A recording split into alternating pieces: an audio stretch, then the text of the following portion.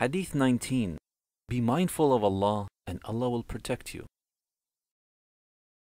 عن أبي العباس عبد الله ابن عباس رضي الله عنهما قال كنت خلف النبي صلى الله عليه وسلم يوما فقال يا غلام إني أعلمك كلمات احفظ الله يحفظك احفظ الله تجده تجاهك إذا سألت فاسأل الله وإذا استعنت فاستعن بالله واعلم أن الأمة لو اجتمعت على أن ينفعوك بشيء لم ينفعوك إلا بشيء قد كتبه الله لك وإن اجتمعوا على أن يضروك بشيء لم يضروك إلا بشيء قد كتبه الله عليك رفعت الأقلام وجفت الصحف رواه الترمذي Ibn Abbas, may Allah be pleased with him, narrates, I was riding behind the Prophet, peace be upon him, when he said, Young man, I will teach you some words.